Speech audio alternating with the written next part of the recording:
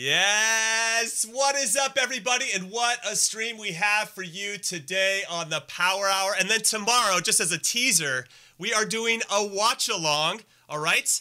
For the Manchester City Arsenal game. I already think City's going to blow them away, but you never know what Mikel Arteta has in his or what he's hiding under his hair helmet. You know what I mean? You just don't know. And then on Friday, we're going to have the Power Hour. And then right after it's over, we are going to watch Spurs versus Manchester United, which will include my new favorite person on planet Earth, Marcus Rashford. The guy is an absolute hero.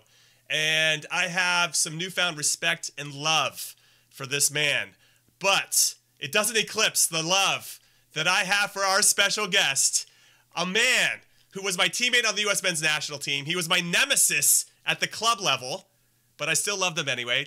A lot of respect and admiration for his game. And then he's a role model for me uh, in the media scene because after he retired, he got into it. Uh, has been in TV forever. Now he's a he is the I would say the most consistent American voice on NBC Sports' coverage of the Premier League, which I feel like it's got to be a tough gig, man, because they just don't rate Americans. Uh, if you don't have the right accent, then you just don't get the respect. Anyway, it's Kyle Martino. Kyle, what is up, man? Thank you so much for joining us today. Uh, I got to fix your little side. You're a little, you're a little smaller than I want you to be, and you're not that small. so I'm gonna bring you up right now. What's up, dude? How are you? Yeah. By the way, watch out with the hair helmet comments because I'm in the hair helmet union. all right. yeah, but I mean, look at that head of hair. It's unbelievable. So, oh. so, so and actually, I have this sign behind me that says "best hair in the game," and, and I'm just trying to leave it out there. Whether it's that's for you or whether it's for me, I don't know. Up for up for debate. Yeah, who knows? okay, so so how excited are you for the Premier League to be back? Oh, I mean, so so I, I haven't been this excited to get back in the studio since since that first season where um the anticipation of not really knowing what it was going to be like and you know starting something new starting something fresh this kind of feels like a like a reboot in many ways. And like over the years i've grown to love rebecca and the robbies like family so seeing them again um, is going to be amazing. But when you distill everything down to its essence i just i love this game so much and i'm sad when i'm not able to watch it. No, I feel the same way, and, and I'm excited that it's back. Obviously, the Bundesliga's got back and really got things started. Now La Liga is starting to kick in. What do you think the Premier League can learn from those leagues to maybe enhance the experience? You know, because we've seen the piped-in noise. You know, we're, we're I, I assume you guys have some tricks uh, that, are, that are coming up with regards to how you're going to broadcast the games, or maybe maybe you're not, or maybe you don't want to reveal the secrets. I don't know. Um, yeah, I uh, no no real no real tricks. I I'm, I'm thinking of Gob in uh, Arrested Development right now, coming up with something amazing.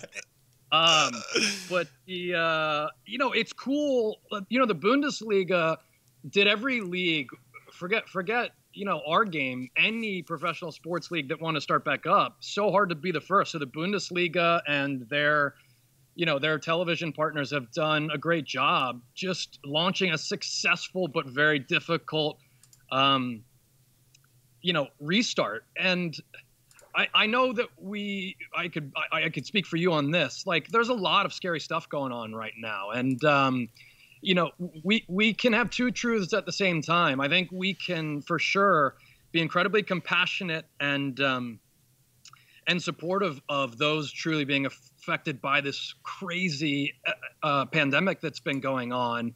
Um, and then also be incredibly supportive and continue to find ways that we can educate ourselves or use our pulpits to speak for uh, a more equitable world and get behind this incredible social justice movement, Black Lives Matter. So, in that, like, really powder keg charged and important cultural moment, you can also say, man, I'm so excited sport is going to be back. And then also you, you can conflate the two. I'm sure we'll we'll talk about a little bit, but like sport is a social justice vehicle. I know you've probably gotten the same. Like I've always used my platforms and chose to speak about a lot of these issues and we get the stick to sports, Kyle, kick a ball. We don't want to hear any of this.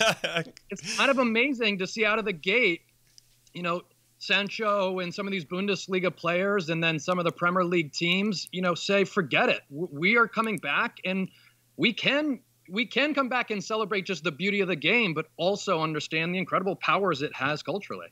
You know, it's funny that you say that the stick to sports thing, stay in your lane type thing. I mean, who's the person that's saying to me, and what do they do? Because I'd be like, well, why don't you stick to being a manager at a grocery store? Okay, just just stick to managing groceries. Okay, I don't I don't I don't need you to tell me how to, how to run my life. You know that always cracks me this up. Is uh, Carl CPA. Okay, just do my taxes. I don't exactly. want to hear what you care about. yeah, you're not a human being. I don't care. You're not a full body 3D person.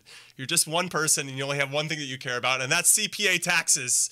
That always cracks me up. All right, now there's a lot of a lot of comments. Uh, we're going to get to all the stuff. Kyle's picks and my picks for top four, bottom three, uh, Europa League, all that type of stuff. We have some awards coming as well. I should have said that from the very beginning. Our best manager of the year, player of the year, because we already know Liverpool is going to win the league. So we'll get into that and, and we'll see uh, what Kyle has to say with regard to all those things. But before we get into that, though, and I'll get to some comments as well, uh, let's talk about Marcus Rashford because he uh, is doing some big things in particular, he put a lot of pressure on the UK government to basically they talk the talk. You know, they do all the Black Lives Matter, they say all the right things, but now he's forcing them to walk the walk as he should. They should be doing this anyway.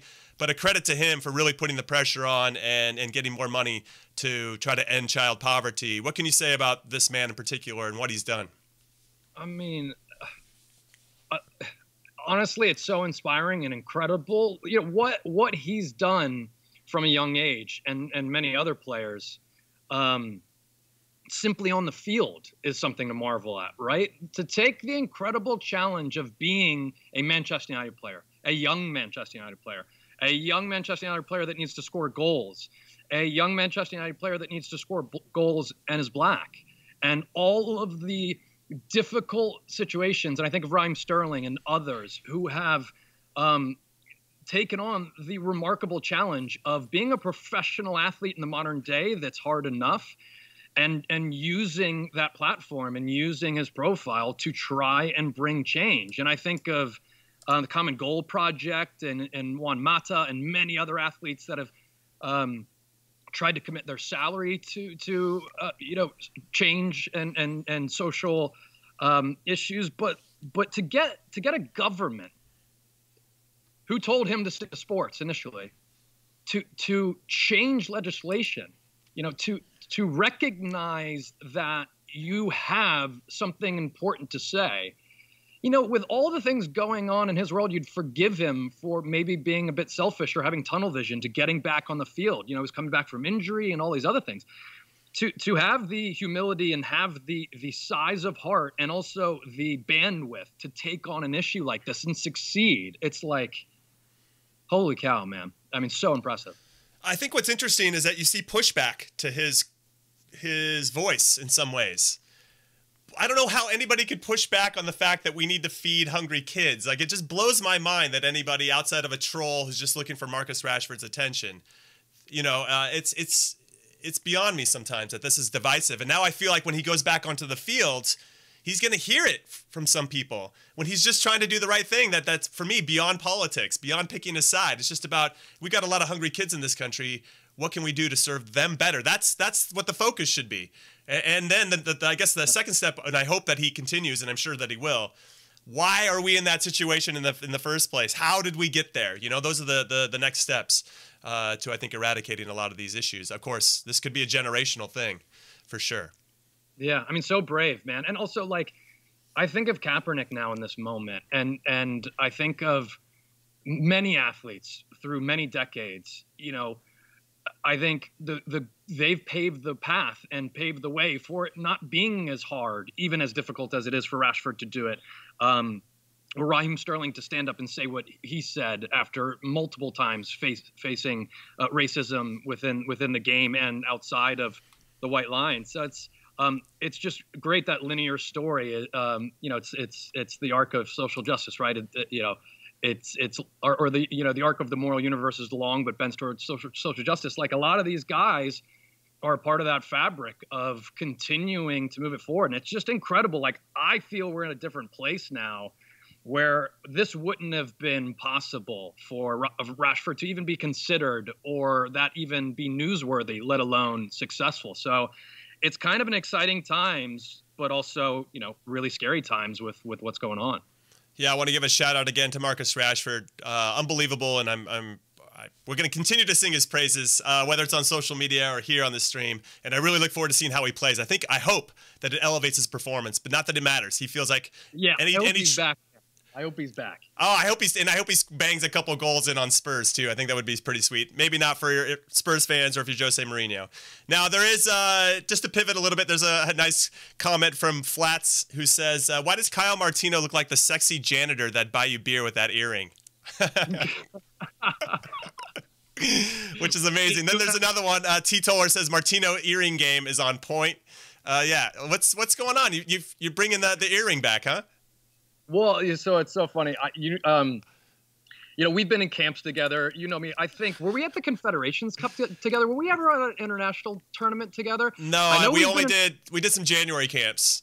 I know we were in moments where we combined rooms so that we could get, um, you know, a eight-player Halo going. But like, I don't do well with idle time, and so you know, it's been really challenging to to be locked inside. So I've I got I've gotten creative with a few with a few um, personal aesthetic decisions. This one was a throwback. I just wanted to see if I still had the earrings that uh, I I had a friend uh, Pierce at a party in high school, and uh, yeah, the holes are still there. Sweet. Well, as long as you're buying beer for all of us afterwards, I think we're all good.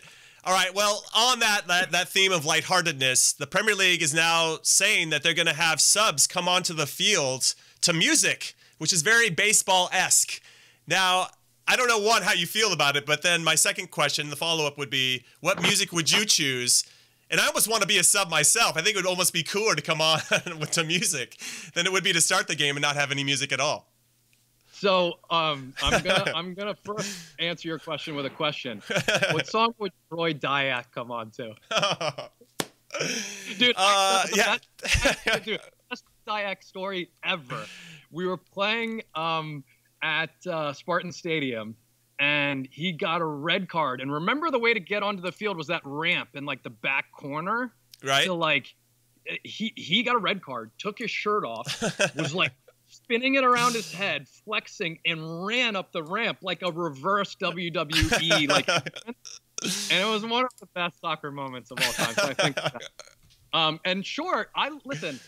My dad has this saying: "If you can't fix it, feature it." it. It's gonna be weird to have games, and you and I both know. Like we've played in these closed environment games. Like it sucks for players and it sucks for fans. It's not as much fun to to be in an environment without the fans. There would be no game. There would be no sport. We wouldn't have done what we did to our bodies over the years without um, the incredible drive and spirit and, and environment that fans bring to the game. So all these creative ways of piping in sound, um, I think they should pipe in the the fan and, and crowd noise in the PA system for the players. You know, kind of like Pavlov's dog. I think you'd you'd actually see a response and the players would enjoy that. But I'm I'm down for anything that isn't super gimmicky. To just say like these are weird times. Like let's just try stuff. Sometimes we just take it way too seriously. You know. Yeah, I mean, at the end of the day, it's just a bunch of players in small shorts kicking a ball in a certain direction, you know. And Some smaller than others. Yeah. yeah, exactly. So, so uh, what would your song be? You still didn't answer that part of my question. Um, so I, I'll say it because um, it's just a, a remarkable humble brag. Um, when I when I won Rookie of the Year, um, yes. God, I'm, I'm I'm I'm blanking on his name. He was working in digital. Um, he's Asbury Park um, now. Oh, Sean Um, Francis. Yeah, yeah. Sean Francis Yeah. did the editing for the for the gala, and I when I won Rookie of the Year, he did "Baby You're a Star" by Prince. oh, I mean, dude, I would definitely come up. what a hero! Yeah, I would do uh, Mr. Big Stuff. Who do you That's think good. you are, Mr. Big Stuff? Yeah, pretty much It sums would me be up. how you walked out to that though. That's everything. Yeah, yeah, and there's got a, there's a certain strut I think that goes to that song as well. You can't just like sprint into your spot and, like on a, on a set. Yeah, Mr. that's Big true. Stuff. Mr. Stuff. Yeah, you got to ease your way in there. There's a strut. There's a strut for sure. All right, now as a Newcastle supporter, and I know you can see my jersey. It's it's it sucks to be a Newcastle supporter more often than not. Uh, I did want to get your thoughts on the on the potential takeover because obviously I'm not a fan of any owners that have human rights violations on their hands, um, and I don't know what they're going to do with that. if they're going to remove those owners and try to do something else. On the flip side, though, as a fan, I would love that inflush of cash so that we could go buy Ronaldo and Messi and actually get Pochettino in charge, and we could go on and win all the leagues and trophies available. What? exactly. that's how it's all gonna. That's how. Well, that's how it plays out in my head. Uh, what What are you hearing? I guess about this takeover, and I because I just wanted to end like this speculation. I just want to. I guess have to accept that Mike Ashley is going to continue to be my owner that doesn't care, uh, and do the bare minimum, uh, and and you know maybe punch some horses along the way. I don't know whatever he likes to do. But I I I well, kind of wanted to know what your thoughts were on Newcastle.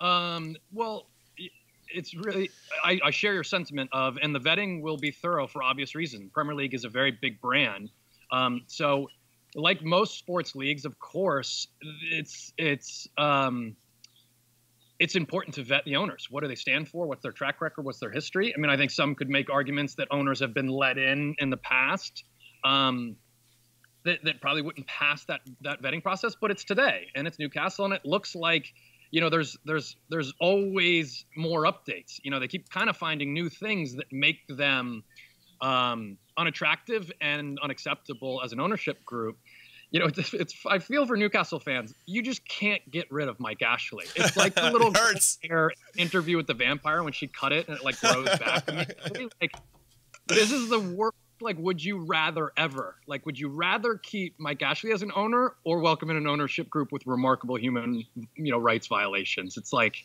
oh so yeah i mean you're probably going to be from what i know and i know little i'm on the outside i'm like anyone else just reading what you guys you know what they write what they find it, it doesn't seem likely this ownership group ends up taking over newcastle what hurts i think as a fan of and I guess we could maybe enter into this conversation. It's a much longer one, but but what hurts to be a fan of, of in the promotion relegation, um, I guess perspective, is that I have a club that we're basically hoping for mid-table purgatory. Like we just don't want to get relegated. Uh, we actually, I don't even know if we want to get into Europe because then that that really thins us out to actually compete in the league. We'll most likely get relegated uh, because we just don't have the the depth to to manage multiple competitions. It's a really weird way to support a team, you know, especially as an American who like we think we can win the title every season in every other league, right? I'm a Dodger, I'm an LA yeah. guy, so Dodgers, Lakers, Kings, all that. But but yeah, it's just it's interesting to be like, yeah, if we can just get 12th this year, I'm gonna love life. You know, it's just it's just it's a weird concept it's it's too big a club to.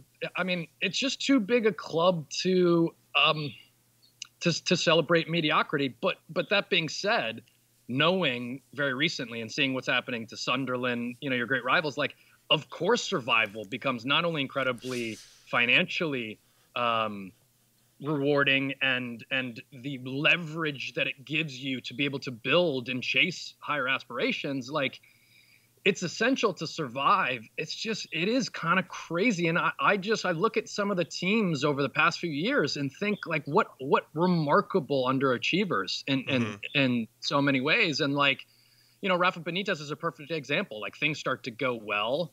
You, you find someone who stabilizes things, and, and, it immediately kind of blows up again, and, and a he said she said thing between he and and and Mike Ashley. So it's a shame because um, you know, when I grew up, as as you did, you know, those those teams like back in the day, and I remember watching, you know, um, Owen and Ginola and and Shearer and and Asprilla and just like I honestly like one of the first beers I drank um, in high school because I didn't drink much. I normally like pour it out in the plant because like I had a game the next yeah, day yeah. and I was like, but like I I would buy Newcastle simply because That's amazing. No, and I respect that. Uh, so yeah, I guess I'm just I'm just frustrated, and I know there's people in the comments uh, that are gonna. Well, Fish says I thought Steve Bruce was gonna be a disaster.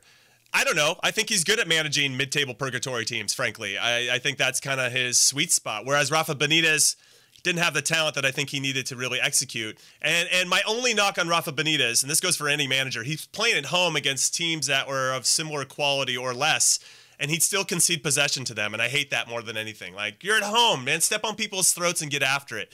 Uh, there, was a ban- there, there was a banner, Jimmy, like, um, I remember it really, really well. It was maybe like three or four seasons ago.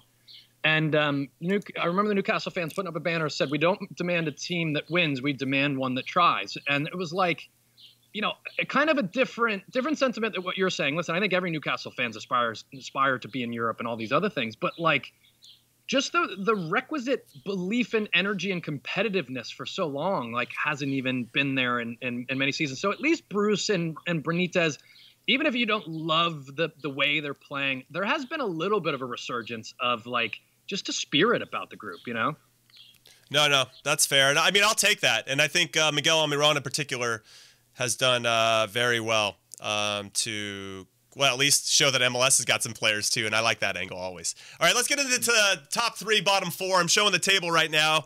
Uh, I think we can all agree that Liverpool is going to win the league. They deserve to win the league, and I'm glad the league's back so they can confirm it. Even though I'm sure there's some other fans that think, "Oh, it's not real. It got stopped because of whatever." You guys need to shut up. So we could say it's between City or Liverpool. Uh, but it's not. Um, I think it's more about when Liverpool's going to win the league. Are they going to do it at the Etihad versus Man City on, on the 7th of July or two days after that at Anfield when they host uh, Aston Villa? There's a part of me that thinks they're going to lose the City, maybe for, I don't know, competitive reasons, of course, but but maybe it'd just be cooler, I think, for them to win it. Uh, in front of their home fans uh, at Anfield. Uh, just for the top four, I'll go really quick on my, my my thoughts. Man City obviously seems like a lock. They're going to be okay, I think. But I can't say the same for Leicester and, and Chelsea, who are currently third and fourth. Uh, Leicester have games against Everton, Arsenal, Sheffield, Spurs, and United on the final day. That is a really tough schedule. Uh, Chelsea have an easier schedule, but they also have games against City and Liverpool uh, and two London derbies. So those are always a little bit tricky. Uh, then for the other hopefuls, United look like they're going to be okay, especially if Pogba and Rashford are healthy. Uh, they're rejoining a team that's won nine out of their last 11. They were in good form prior to the pandemic, so we'll see if they can keep that up. And then Wolves and Sheffield, you just don't know. I mean, you got to love their spirit.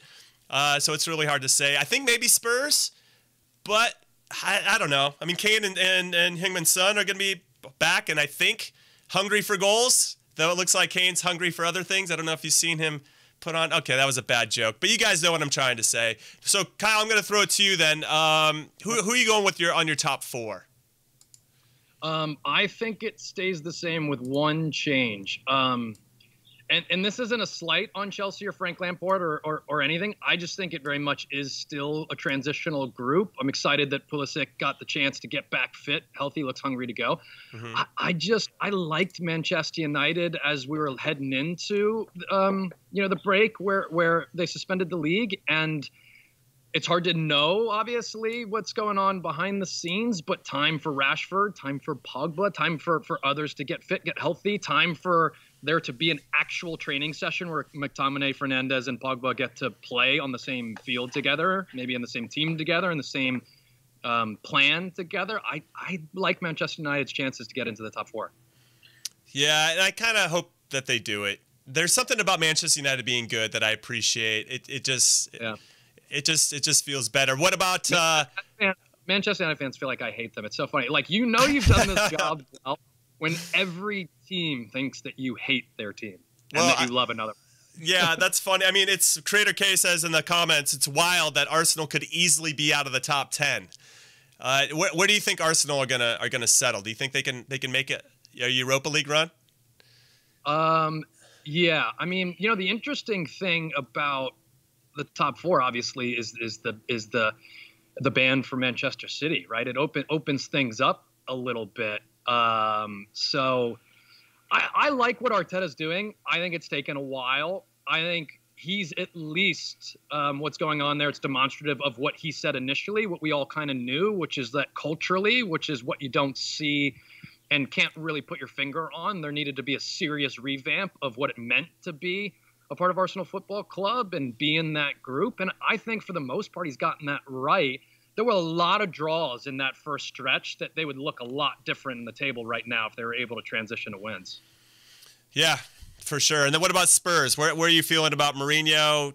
Uh, do you feel like he's just? He, you think the game's passed Mourinho by? I mean, it's just it's the, the guy had the magic for so long, and then it just seems like he doesn't have that same type of spark. But but maybe now with this pandemic, maybe because he's had more more time without that pressure with his players maybe he can pull some magic out of his hat.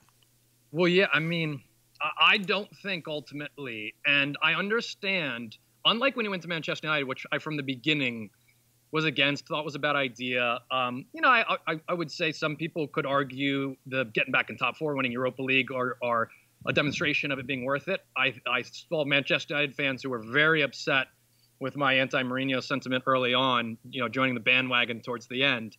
I don't feel that way initially. Like I, I saw the calculated risk in what Daniel Levy was trying to do by bringing Mourinho to Spurs.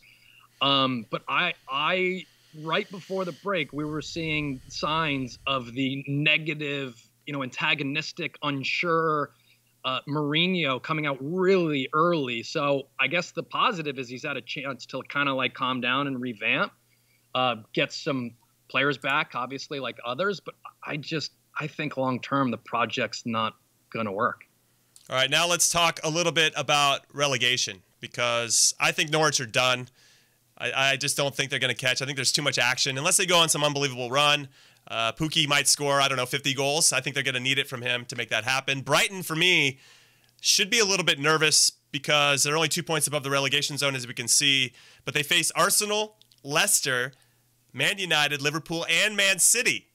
Uh, I just, I just don't see them getting a lot of points uh, out of those games, if any and that could that could signal their doom. Uh, the other spot could be Aston Villa's. I hope not. I have a soft spot for Aston Villa. Brad Guzan played there for a long time in goal, but they have a tough schedule as well with six of their ten games in the top half of the table, and there's only so much Jack Grealish can do um, if he's not running into trash cans with his car. Was that a low blow? And then there's a case to be made for Watford, who are going to probably, well, they might be out without their skipper. I think Troy Deeney for a while. Uh, and then Bournemouth faced for the top eight within the space of 11 days. Who do you think is going to get relegated, Kyle Martino? That's that's my question to you. So um, Aston Villa, Norwich, and then you know the one other for me is between um, Watford and Brighton.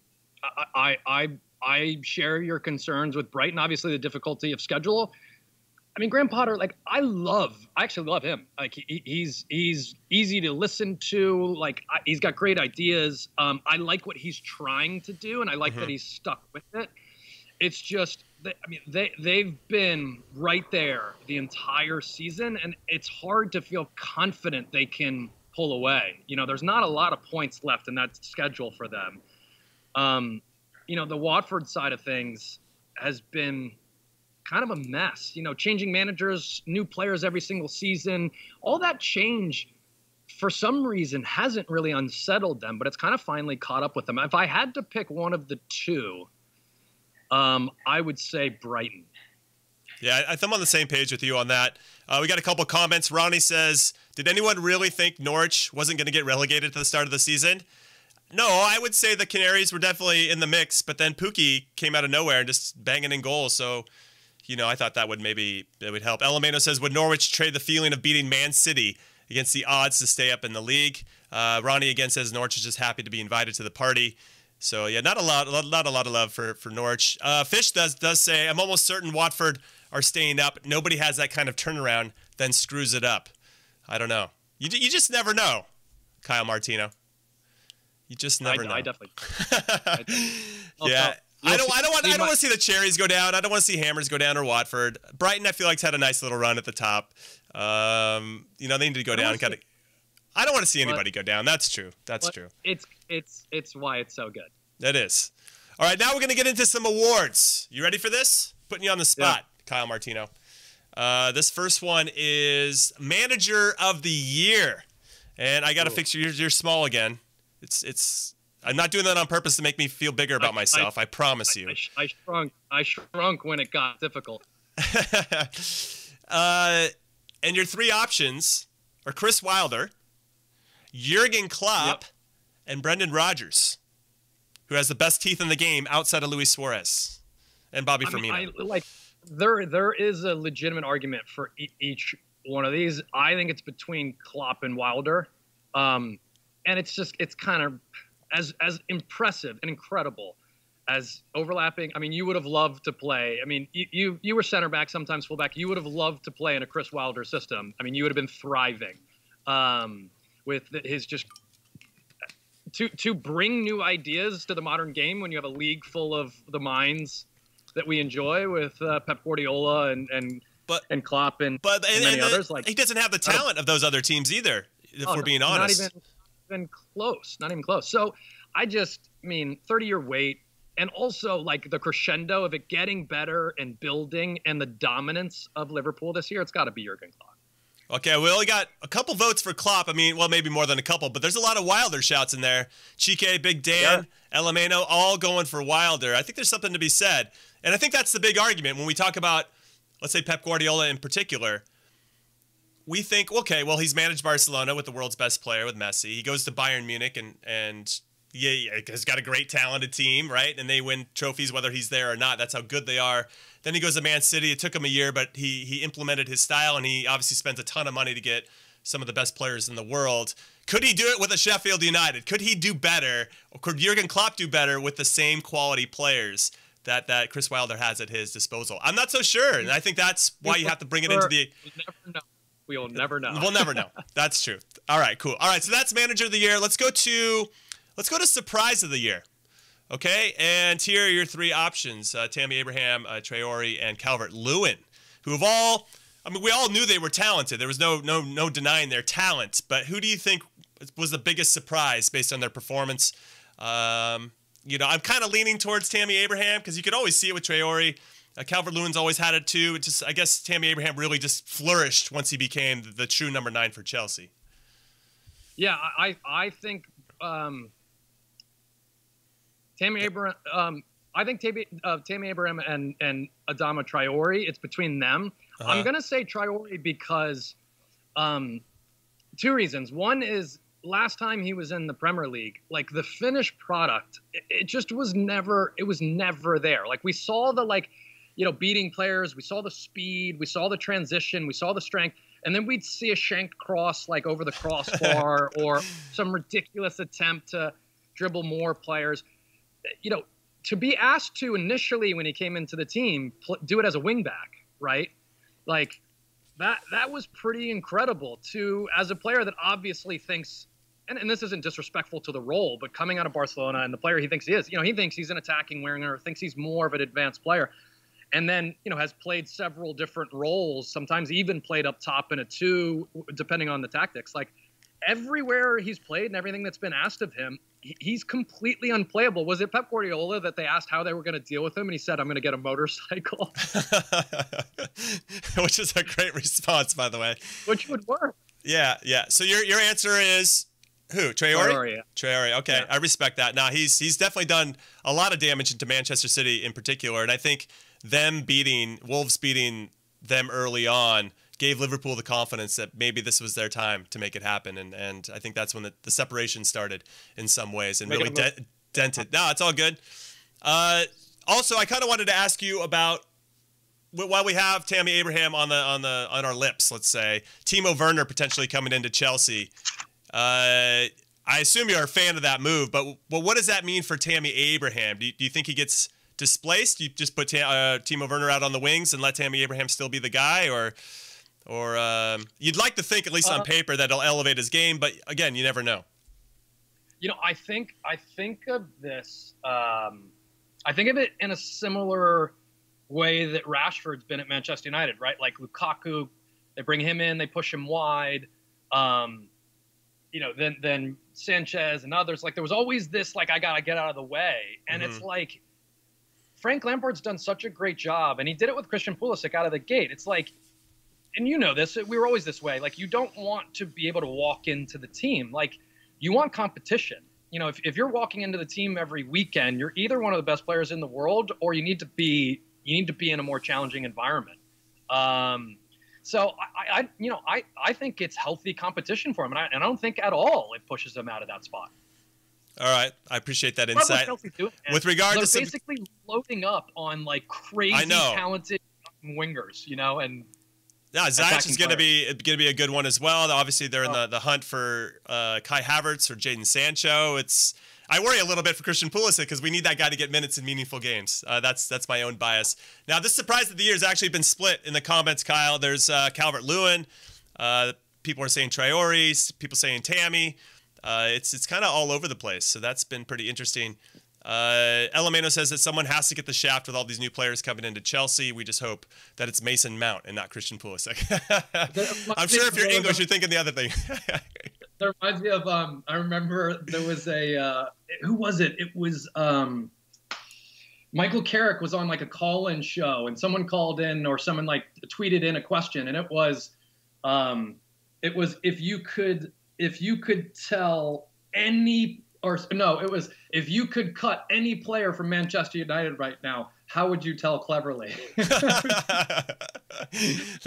oh amazing, what an amazing lead. That's that's awesome. All right, let's move to the next one. The best new signing. Now, for me, Harry Maguire, who was probably a little overpriced in the transfer market, but they filled the need. Uh, he really elevated his game once Ole gave him the captain's armband, and I think that was a shrewd move by uh, Mr. Gunnar Solskjaer to do that. Uh, Danny Ings, even though he was on loan, he just officially signed with Southampton, so you know, and he's been very important for them. He's only a few uh, goals off the top of the Golden Boot race, and then Bruno Fernandes. I don't think Manchester United has lost since he's been in the team. Even though he hasn't played as much of a role, I think it's clear that maybe they should have signed him as uh, last summer uh, which one of these guys in particular do you think has been the best signing?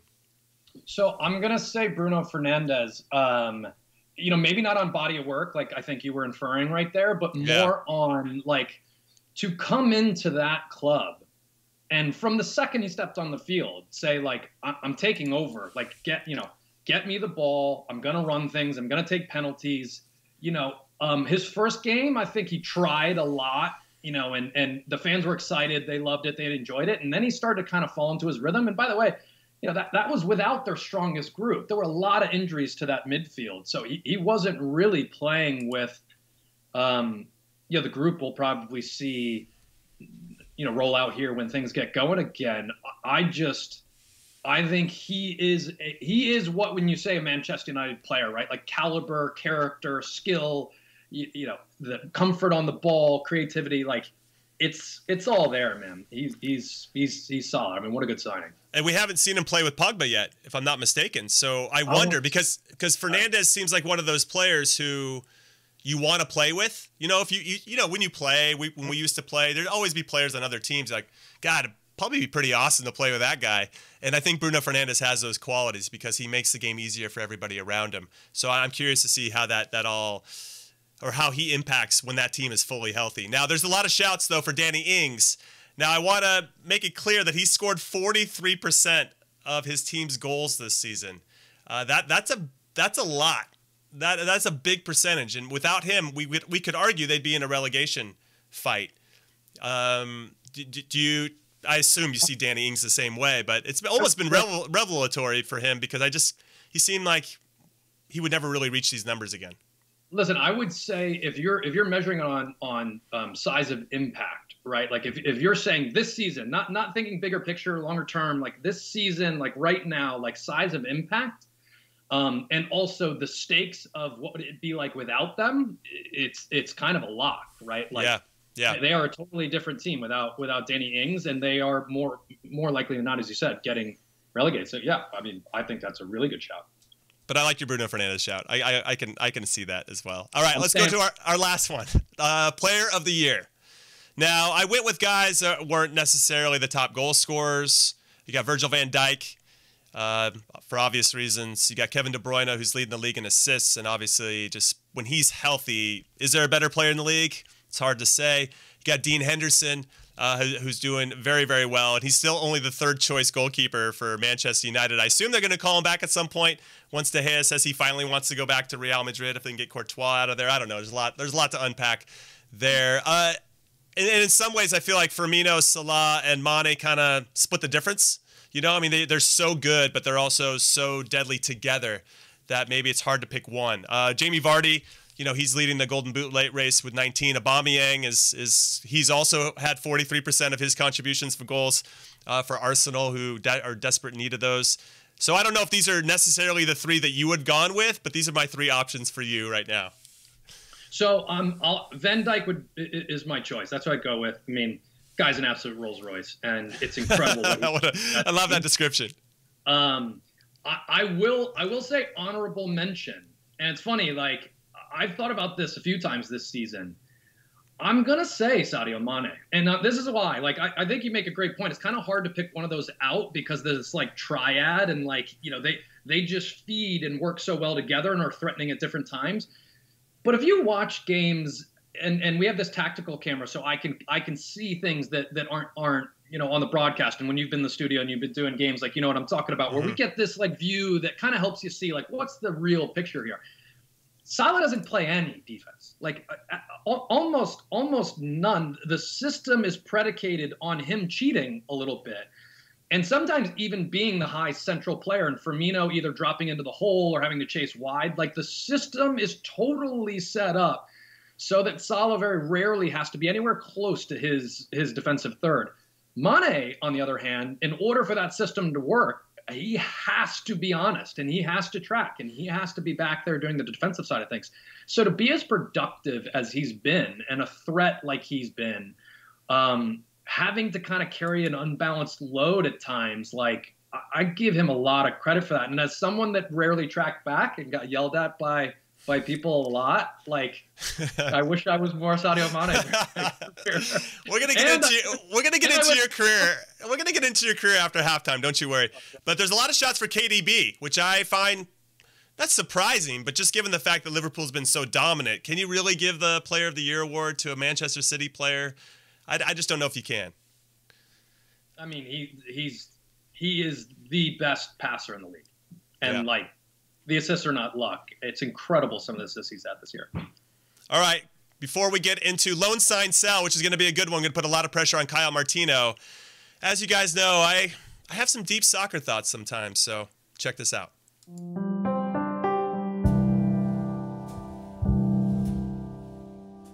We all know David Luiz is not that good. So do people think he's better than he is because of his hair? I mean, you would be lying if you said he doesn't look like a majestic lion running through the grass, hair bouncing with each stride as he looks for his next meal.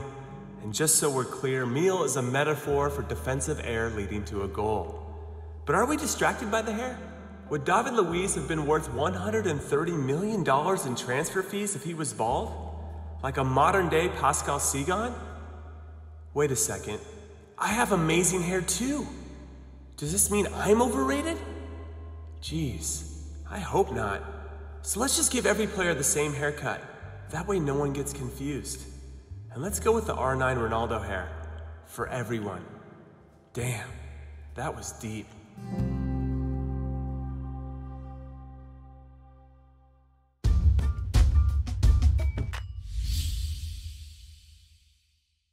Oh yeah, it's time for a little loan sign sell with the very small Kyle Martino. And uh, Kyle, this is gonna be a tough one for you. We, we try to put all of our guests on the spot.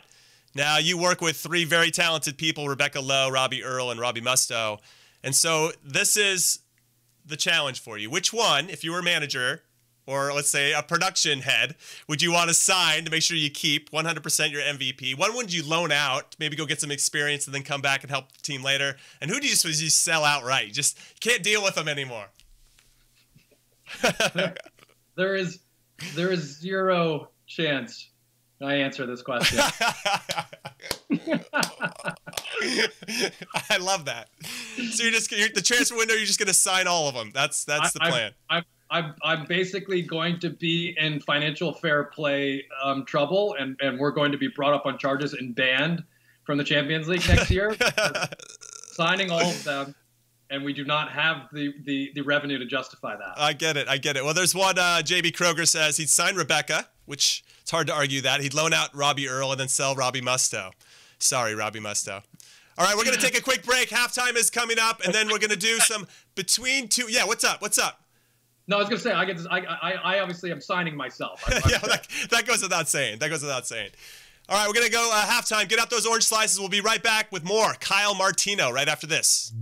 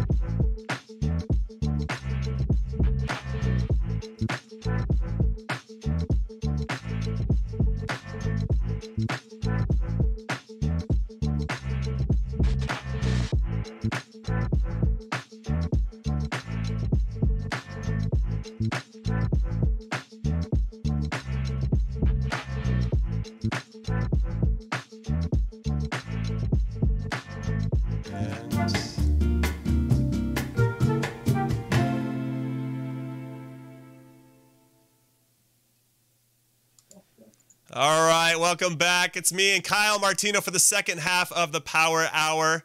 I'm gonna get this fixed, Kyle. Don't you worry. Signing, tiny Kyle.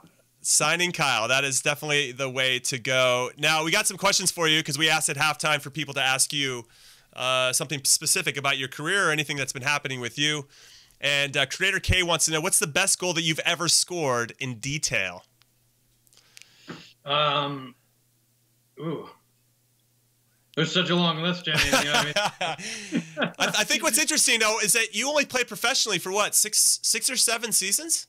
Seven seasons, yeah. Wow, Yeah, why yeah. so why so short? I think that's my question coming out of halftime.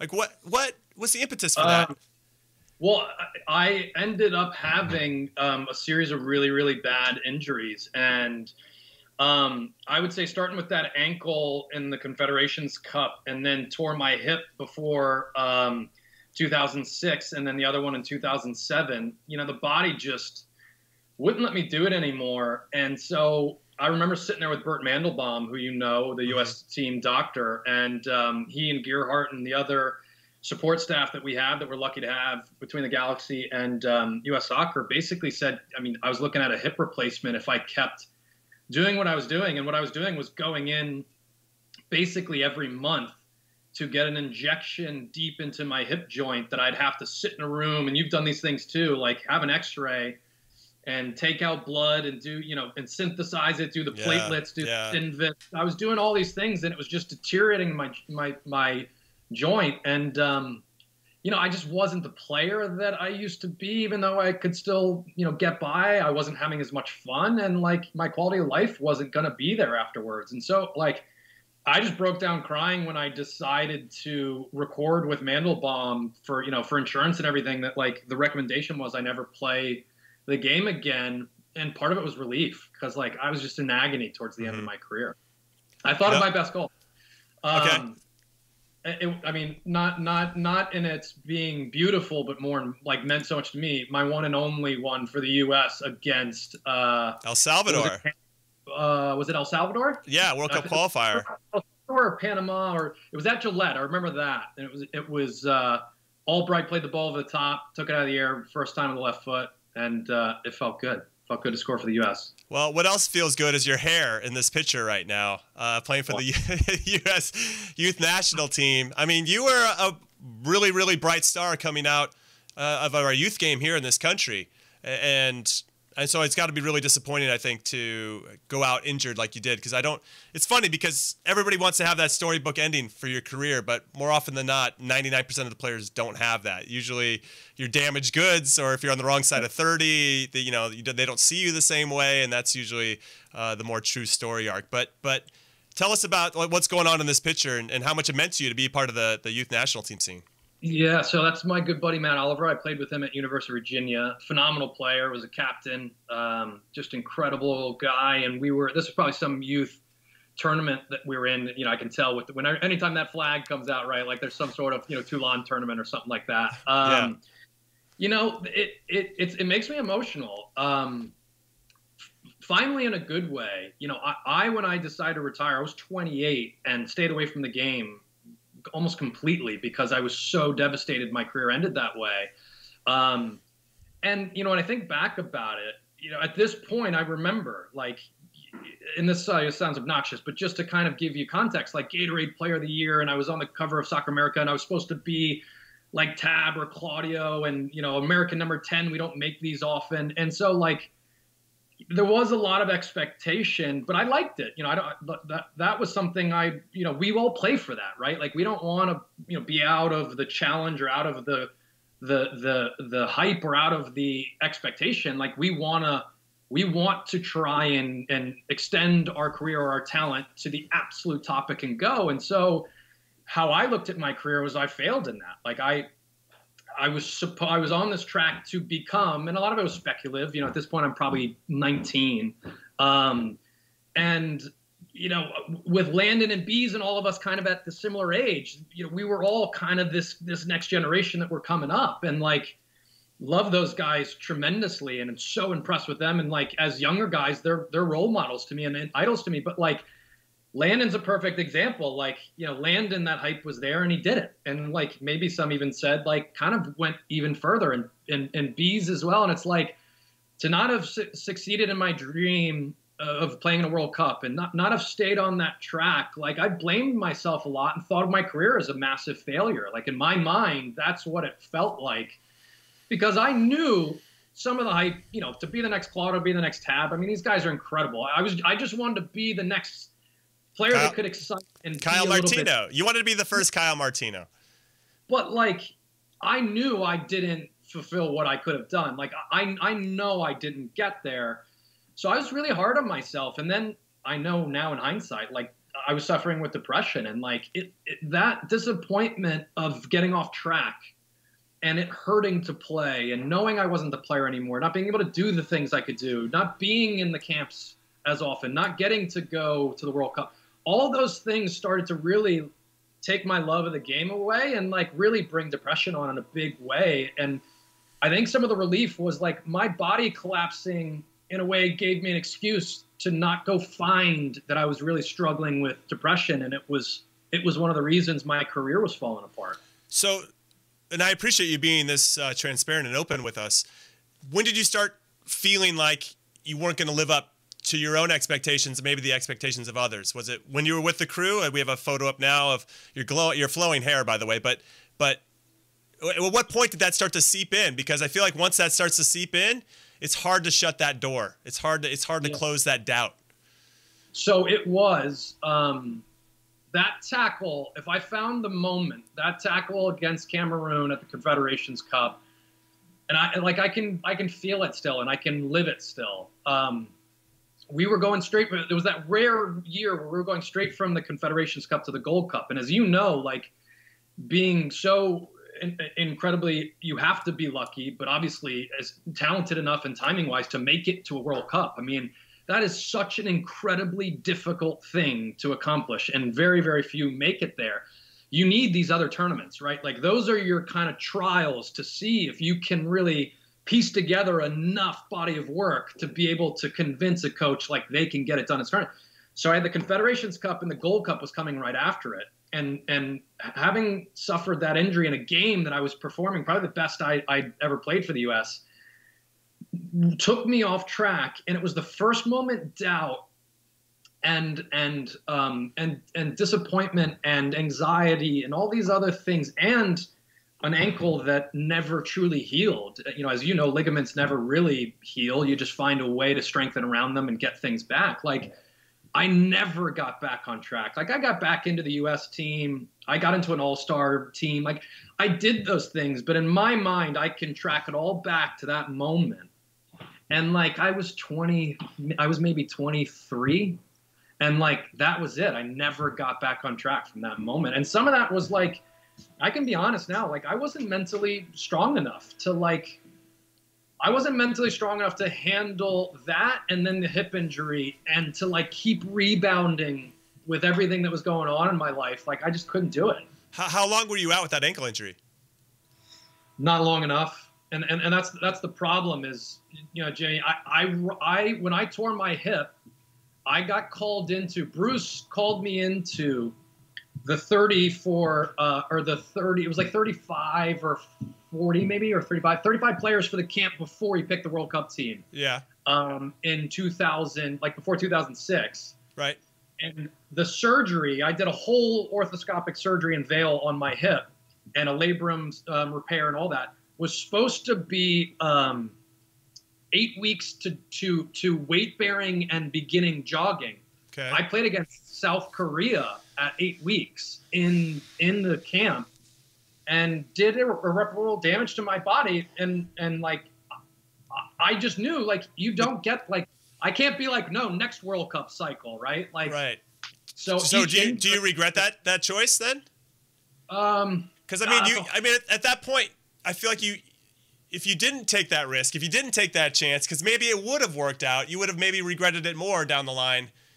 If you just don't know, man, that's such a big if. Wow. Yeah, I mean, I think here's the answer to it: is like, I've worked with a therapist now. Um, starting in 2010 was when I finally decided to go get mental health support, and you know, it's changed my life. It's a regular part of my, you know, you know, nutrition and all these other things Mhm. we do to stay healthy. It's a regular part of my regime.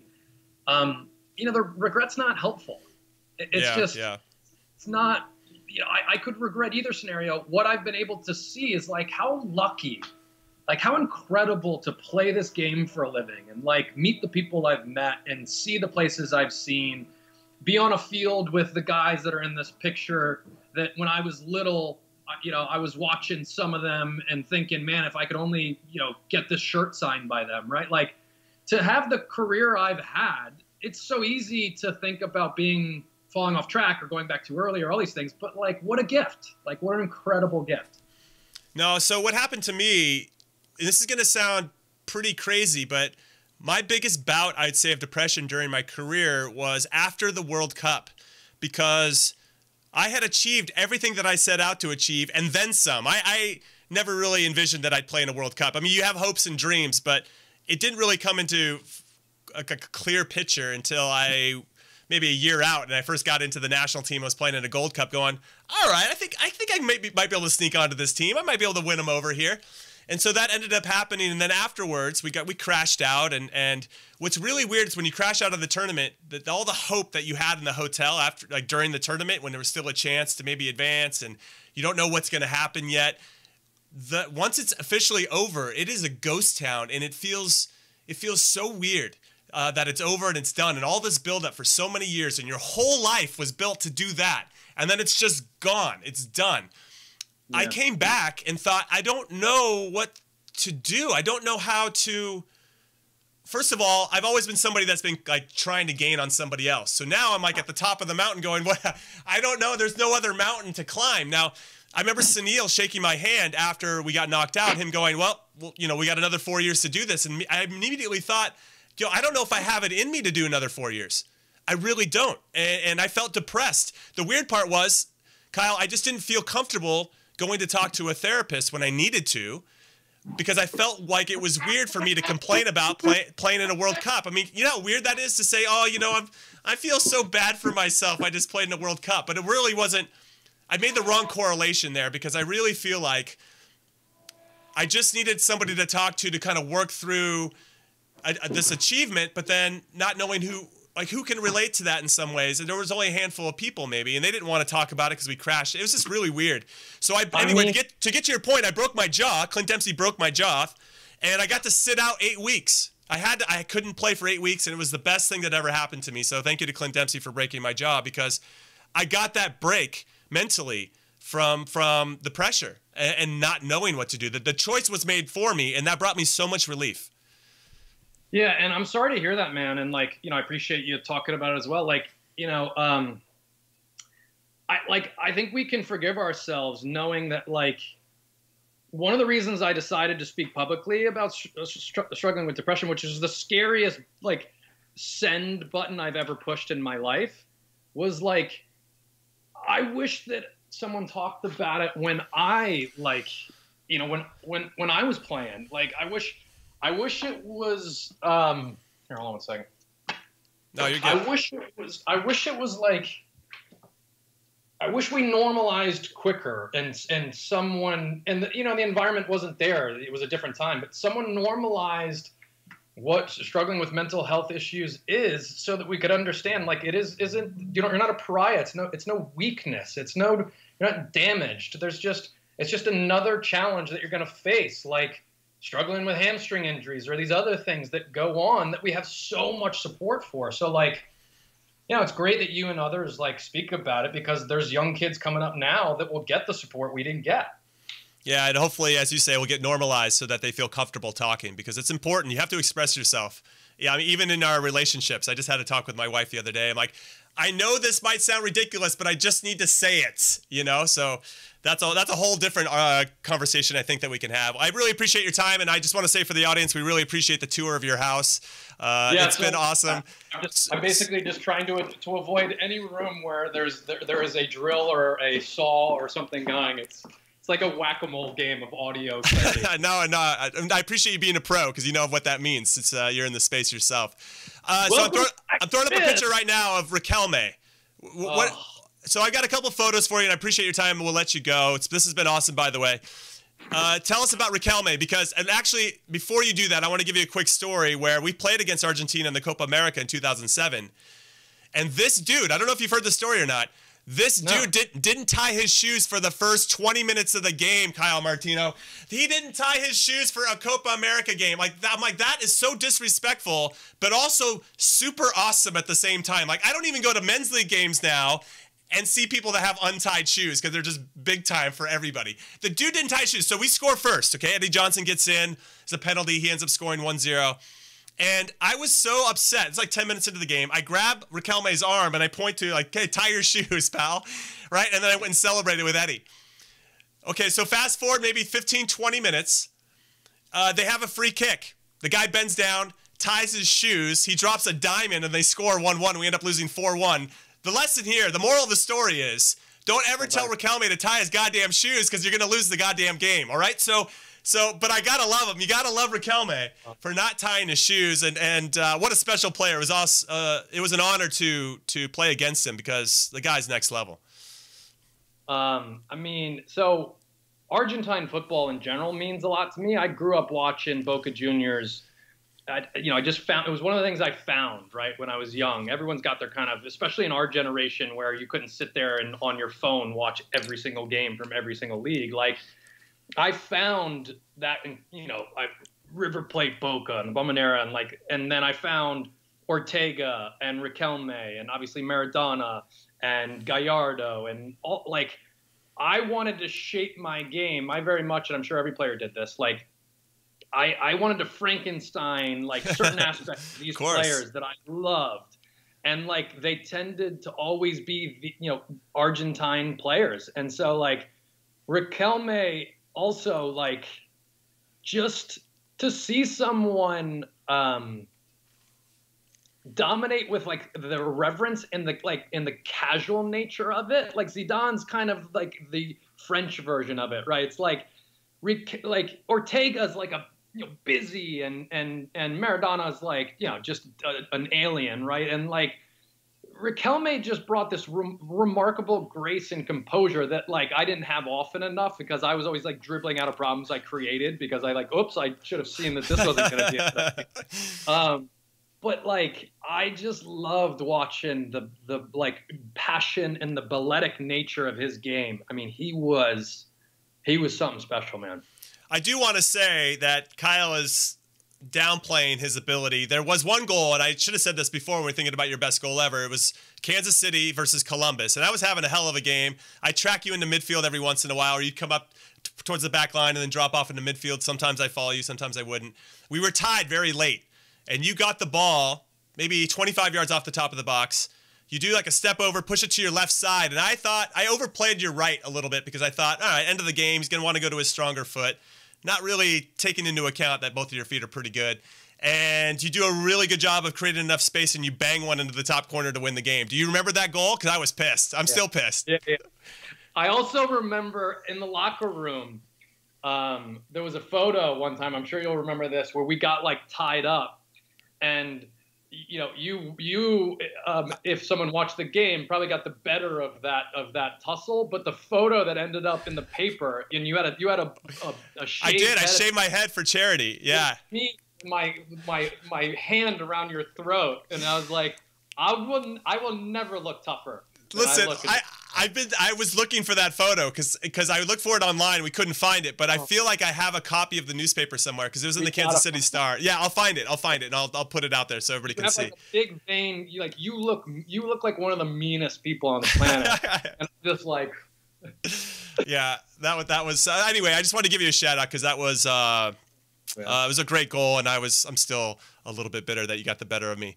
Uh, and then I want to talk about Street FC really quick. You're you're Yeah. doing something to to give back in a meaningful way and, and providing opportunities for people that might not get them otherwise. And and how important I guess is being able to play anywhere to to developing your skills because I feel like there's a lot of players that even even the ones that are heavily coached, the ones that are in the DA, that they're training every day, they still don't have that area to go be themselves without any pressure to do what the coach wants, to try things, right? They hear things, they see things, as you say, they get the Frankenstein their game from the favorite players that they get to watch on TV. Where do they get to do that? Because when they're playing for their club teams, I feel like everything is so regimented, they can't be who they maybe want to be. But this is a platform that provides that. So I'm, I'm buzzing that you, you've started this.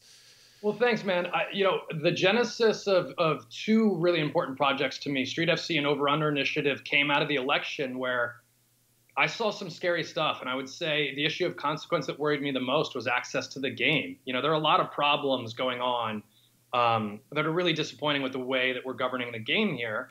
Um, and that's not to say there aren't good things, of course, that are being done and, and, and there's progress being made on many fronts. But I just thought, man, we got a real problem because um, one of the meetings I had was with the group that helped me put together the progress plan that we came out with. And Mia Hamm said something I still hear today. And it froze a room full of people at different levels in different parts of the game. And she said, There's an epidemic going on where the kids aren't having fun anymore. And we need to wake up. Dude, she nailed it. Wow.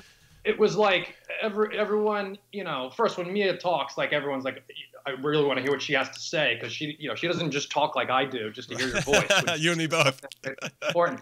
So um, that that moment, I thought like the, the thing out of this election I want to focus on the most is bringing joy and accessibility back to the game. And I just thought the way I played it growing up was I played mostly on hardscape, um, mostly with uh, different cultures, different ages, different genders. Like it was about getting to a spontaneous pickup game as your laboratory to try things, to be held accountable, to learn about competition, to be mad you lost, to be excited when you won, to be a teammate, to be all the things that some of these environments are getting wrong because they're too sterile and kids are spending, you know, five hours on, on in a car or on a plane to go play one game. It's like we have to bring this street, and that's in my mind, the street idea of the game that's manufactured the best players in the world.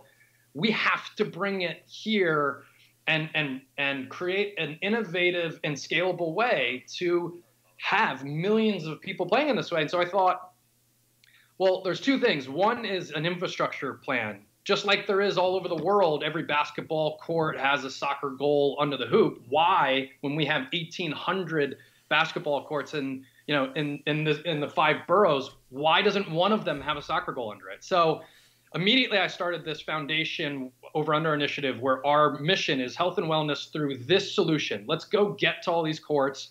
I designed and engineered a goal that 10 cities have signed up to install under their basketball hoops so that we can begin to shift that paradigm that you can play in this way. And then the next piece with Street FC was let's build the biggest football club on the planet, taking the atom of a pickup game and having millions of members rather than the 40 on your text list or email chain. And let's create the most inclusive and enjoyable format and bring that idea of, of club to the street in a spontaneous way and join all these other amazing groups like you know NYC Footy and Bowery and and Venice uh, Beach FC and you know like everyone that's trying to find their little way to satisfy what is a unsatisfied desire to find and play this game in an enjoyable way whenever you want to. No, I love that. I love that about you. So I'm so glad that you're doing it. We're getting a lot of comments saying, I wish, uh, you know, I can't find pickup games. I wish it was easier to find them. So Street FC, everybody, is probably going to be your best solution in a lot of different ways. And I love the over under initiative, man. I love all the stuff that you're doing behind the scenes and uh, and all the work that you're doing uh, off camera because I can tell it means a lot to you. So I I, uh, I appreciate that.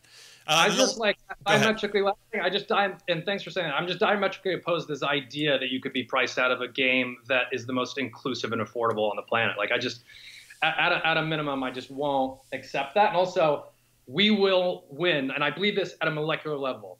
We will watch our men win a World Cup in our lifetime to join our women as World Cup champions if we're able to unlock the game in the streets. There is no panacea, but if we do only one thing, that will get us close. Did you see that that quote by Zlatan where he said that you know thirty five hundred dollars? Like what what are we even doing? Like what what country is going to produce players with that type of format, that type of structure? No, we're getting it wrong, and we got we got to wake up. Now you ran for U.S. Soccer President. I actually I don't know how much time I could go into this, so if you got to go, uh, I understand. But you ran for it and, and it's clear that you learned a lot from the experience. Um, is there a chance that you'll run again potentially in the future, or is that kind of you did it, you learned what you needed to, and now you're going to move on and just try to be better in other ways? I mean, listen, I, I, I won't say that. I won't say never. There, there's always a chance. I would say um, there's, a, there's, it's unlikely because a lot of the factors driving me to run one of them was, and I say this with respect, I disagree with many things he's done and, and, and credit him for a lot of great decisions and, and, um, and service to the game in this country. But uh, it was time for Sunil to go. And yeah, yeah. I, I wanted to stand forward to say, I'm just not going to accept that we don't change in this moment. So it doesn't have to be me, but I will fight to make sure that there is actual change. Um, I think, and I give credit to everyone who stepped forward because it wasn't easy. I think that this next time around will be different. There will be qualified and and courageous and passionate and capable people coming forward for that role. So I, I, I, you know, I know this sounds like delusions of grandeur. There are there are many people better than me to run U.S. soccer in this country, and I, I'm confident some of these people finally step forward and feel they have a chance to do that role. Yeah, JB Kroger says in there, we need someone like you running USSF uh, because we need someone who gets it. And I, I I, I, now I guess I'm, I'm, I'm, emboldened by the fact that at least we're having more former players kind of infiltrate the ranks in some ways. I know Brian McBride just got involved. Uh, Cindy Parlow Cone has now been thrusted into it. Uh, Cindy Parlow Cone, people will probably say she's insider. I think she's great. I, I, I think she's very smart, very courageous, fantastic player. I think she has a lot of the qualities. All right, now to our last topic, then we'll let you go. Thank you again for your time. It's our Soccer Minute, Minute of Appreciation, sponsored by Soccer Minute. And uh, we're going with Robbie Rogers this month. It's Pride Month, uh, and he has been such a uh, important person in this movement for sports. I don't feel like he got the credit he deserved for coming out first in any major sport in this country. Uh, but uh, it doesn't lessen the fact that he took that big first step. I know that you played with him and he was my roommate with the U.S. men's national team, and I think he's a special guy. And and his years playing with Guillermo Barros Schelotto were like next level. I mean, well, Schelotto's next level, but but but I just thought, and I told him this. I remember pulling him aside after a game, going, "I love when you run with purpose. When Robbie Rogers runs with purpose." And when you play with players like Schelotto, you can because he can deliver the ball exactly where you want. But but Robbie Rogers was a different player when he ran with purpose and belief in what he was doing and what he was about. And and I say that because I feel like that translates to him coming out because now he finally was was being himself with purpose. And I feel like we're seeing the, like a, an amazing Robbie Rogers and, and all of his colors. And and I think the world's a better place because uh, he he stood up for who he was and what he believed in. And and uh, yeah, so that was my minute appreciation for Robbie Rogers. Uh, anything you'd like to add to that, Kyle yeah, Martino? Love to add to that, I, and and thank you for highlighting him. And I think it's a perfect way to bookend this because we started with talking about courageous players using their platforms, and um, man, what a difficult thing to do what he did and the bravery it took. Um, I'll just tell you one story. I've told it before, but I played with David Testo, who um, mm-hmm. phenomenal player, wonderful guy um, I'd known him from the youth national teams, and he confided in me one day um, after practice and told me that he was gay and um, was was just so worried about other players on the team finding out. And so and and you know to go back to talking about and I'm not comparing them at all, but just for context, like living with with, with and playing with depression and like the challenges that that I faced with that I couldn't imagine living with that secret. I couldn't imagine going into that locker room and not being able to be yourself or being scared about how you'll be judged if you are your true self when you're in there. And the fact that they performed at the level they performed, uh, having to carry that burden make, makes them heroes to me. Like I, I, I can't believe how strong and courageous and and I just I, I feel sad for them that they didn't get to have the career that they deserved, which was a career that they were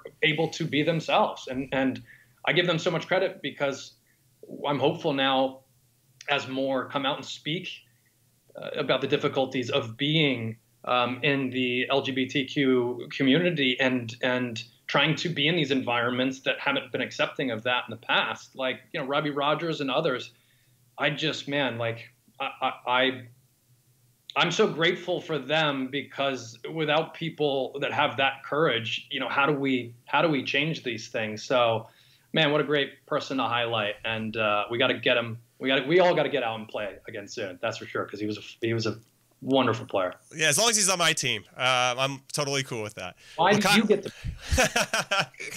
well, Kyle, thank you so much for your time. Uh, this has been awesome, and make sure everybody you follow him in, on Instagram at Kyle Martino. Uh, you can keep up with all of his hair changes and with anything else uh, that he's doing, and make sure you go to NBC Sports to catch up on all the stuff he's going to be doing on TV. I know you've got a marathon schedule ahead of you. Kyle, so we wish you the best of luck, and hopefully you'll uh, get some proper rest along the way. It was great talking with you, man. So good to see you, brother. You too, Kyle. Thank you again. Peace. All right. Kyle Martino, everyone, an absolute beast. What an interview that was. Whew. That was fun. I feel like we we touched everything, no? I mean, we we got into the Premier League, we got into Kyle, we talked about mental health, which which which I think is super super important. And I shared that story with you guys. I don't know if I've shared it with you before, but I have dealt with some bouts of depression and, and not knowing who to talk to and not know who to to confide in because you like even with with regard to the Robbie Rogers thing, you just and David Testo, who he mentioned David Testo. Uh, he was my teammate in Kansas City. He was trying out for a while. We didn't know that he was gay at the time, but he we found out a little bit later when he had moved and signed with a different team. Um, didn't change anything. I think the locker room would have been very supportive, but but again, I could I could see the fear there. And so it's hard to know who to trust with some of these things, some things that you're holding very close uh, to your heart and, and keeping those, car- those cards close. So, um, yeah, that was great. It was a great interview. Uh, make sure you guys follow Kyle Martino. Uh, he's, he's awesome. And obviously, he's doing a lot of things off the field, off camera, that are trying to make a difference for the game in this country in particular. Now, he did run for U.S. soccer president. I could have asked him a thousand questions with regard to that alone because I'm very passionate about growing the game here and, and creating a a development system that really is player first and not about making money first. Now, I think there's a balance. I know that people have to make money, right? You got to pay the coaches, you got to rent the fields, you got to do all that stuff. Like it takes money to to get some of that going. But it feels like we're making trying to make more money as opposed to the player development and I think there's a nice middle ground and I hope with this new MLS Youth Development Academy we can start to find all of that. But you know what time it is, everyone? You know what time it is? Well, first and foremost, if you're just joining us, we're going to do a watch along Manchester City versus Arsenal tomorrow. It's going to be me, Mike Kay, uh, John Hudson, and Monty Rossetti. And I might sub one of those guys out and bring on somebody that subscribes to this channel. You're going to join the watch along. We're going to be doing that a lot, trying to find all different types of perks for you guys uh, that sub and and uh, and follow and all that good stuff. So much appreciated everybody that subs and anybody that's new. Uh, stick around; it's gonna be a lot of fun. And then on Friday, we're working on the special guests. Uh, I think it's one of the Cooligans, if you guys are familiar with them. Maybe Christian, maybe Alexis. We can do a coin flip and see which one comes on.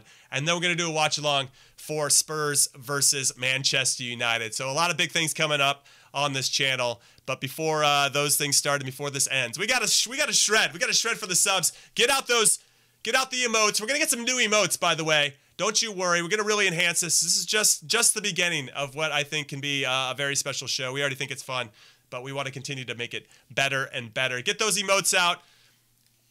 The guitars, the red guitars. It's time to shred. There they are. Oh wait, hold on, hold on a second. I forgot to shred it up. Here it is. Yeah, let's go.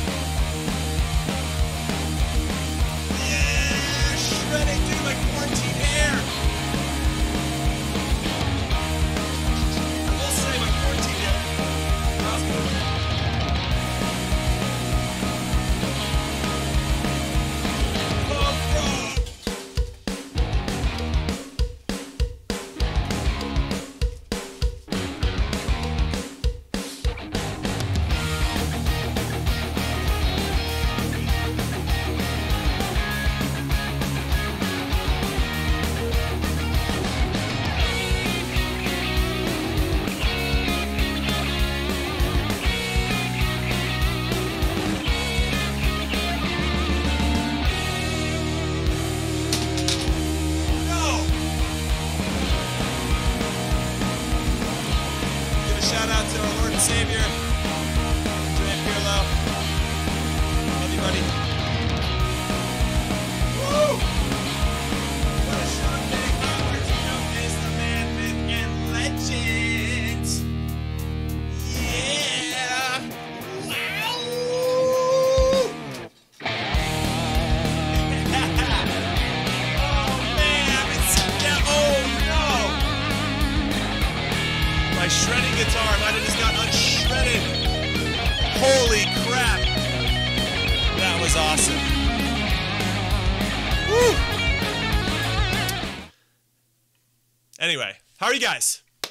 what's up? I know, remember when the Bolt? This is a fun fact for you guys. This is uh, Power Hour After Dark here. I remember when the Bolt would fall every single time when I shredded, but you know what? I picked up my game and I nailed it in the wall. Yeah. Del Piero is better than Pirlo? All right, we got to end the stream on that. Dan Davenport has ended the stream by saying that Del Piero is better than Pirlo. We can't have that. All right, guys, we'll see you tomorrow. We're going to probably start 30 minutes early, do a little preview. Manchester City versus Arsenal. Come and join us. I think the game kicks off at 12 Pacific, 3 p.m. Eastern. You guys know when it's kicking off. We'll see you then. Thank you to everybody behind the scenes that make me look so much better than I deserve to look. Mike K, John Hudson, Monty Rossetti, Chike Nwoye. It's all happening. Tyler Larson definitely needs a shout out as well. And yeah, we'll see you tomorrow. Thanks for hanging out today. Thank you again to Kyle Martino. Deuces! Once I find the right button. Actually, you know what? I got this for you. Watch this first.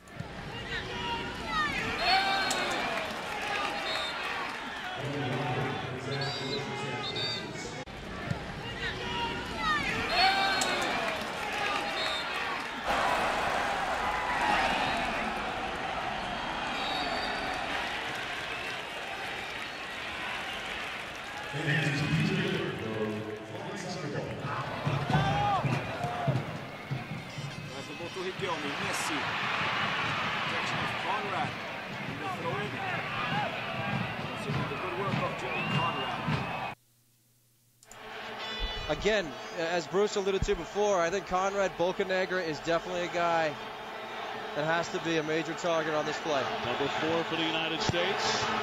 Lennon sends it in. The header and it's into the back of the net. The United States strikes, and it's Jimmy Conrad. Jimmy Conrad finds the net. One to nothing USA. Jimmy Conrad, a late bloomer. He'll be 30 next Monday. Dig it out of your net, Oswaldo. Sanchez. I mean, you have, you Dig have it out game, of uh, your net. nets. game. Ay, ay, the time that he's had tonight. How's that net, net, net, net, net, net, net, net taste? All right, guys, see you tomorrow. Peace out.